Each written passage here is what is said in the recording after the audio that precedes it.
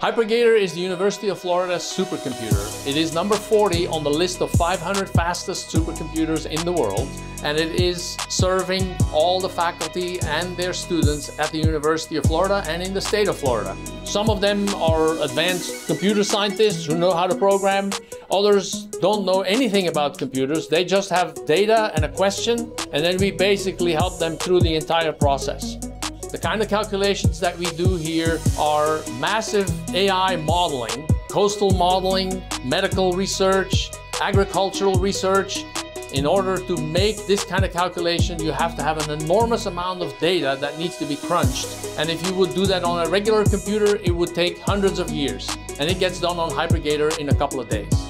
So HiPerGator essentially fills this entire room of 5,000 square feet and it produces so much heat that all the air, 125,000 cubic feet of air, has to be replaced two times every minute in order to keep it cool. Because the system is running all the time between 75 and 85% utilization the sound level in the beginning of the room where the lower powered equipment is is 85 decibels. When you go a little bit more to halfway, there is 95 decibels. And when it is running at full speed doing some of these massive calculations, then it goes to 115 decibels, which is, sounds like a jet engine.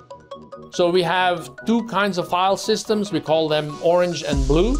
The orange file system is for capacity and it is 16 petabytes. Then the blue file system is the very, very fast, like the Ferrari style storage. That is 8 petabytes. And then we have several other servers that take care of all the bookkeeping and make sure that data moves the right way and that people can get their work done on HiPerGator. There are many projects that we're working on right now, but some of the biggest that impact the entire state is agriculture. And the problem with agriculture is that it's very complex and it has lots of variables. Now, in the last decades, agricultural engineers have figured all kinds of devices to measure things. We have drone images, we have satellite images, we have humidity of fields, but that produces massive amounts of data. And if a human has to go through that data to detect, hey, something's wrong, by that time, weeks and months have gone by and the crop's already lost. So what we now have with AI is we can feed that data into HiPerGator and it can make a decision and provide some advice to the farmers within minutes. And so then they can sort of say, oh, this corner of your crop seems to have some disease forming, or it doesn't have enough water to the roots, and they can take the correct action right then and there. The impact we make is very, very significant. Uh, and we hear that from the students, how they appreciate that their work, the research they do, or when they take the classes and they are taught certain concepts.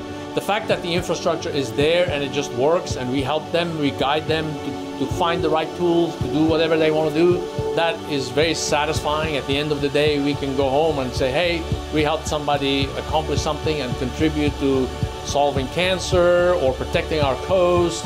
Everything that humans are working on as solving problems is represented and, and we are contributing to making that possible and easier for them.